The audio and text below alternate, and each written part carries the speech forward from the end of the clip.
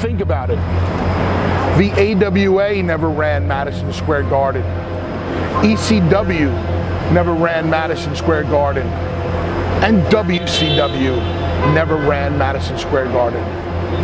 On April 6th, you're going to want to become a part of history. This show will become a part of wrestling history. In 50 years, people will still be talking about the Ring of Honor and New Japan Pro Wrestling Supercard. Fans from all over the world will be converging on New York for what is called WrestleMania weekend. That's not what I'm calling it. I'm calling it the Supercard weekend. And if you're a wrestling fan, this is the place you want to be. This is the show you want to see. This is the memory that you want for the rest of your life.